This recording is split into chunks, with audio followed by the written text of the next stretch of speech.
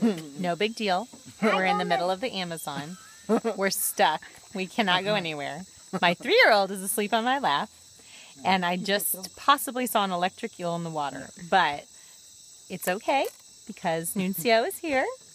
Hi, Nuncio. And he will save the day. Thank you. Will you shine the light so we can see what's happening? Okay, here are my other two children who do know how to swim. The shore is not too far away because it's dry season. Nuncio's going in to try to uh, dislodge the boat, and there are six billion mosquitoes flying around. We just pray that none of them are carrying malaria. But it's not dire, not to worry.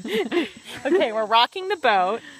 They usually say not to rock the boat, but in this case, we have to rock. Oh, Nuncio just completely submerged. Oh my gosh.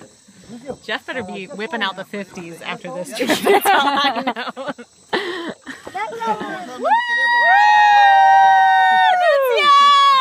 Nuncio! We're free! We're free! Titus, we're free! We got away from the rock. bag for this light. I've got it. I've got it out. Becca's light's ridiculous. Okay.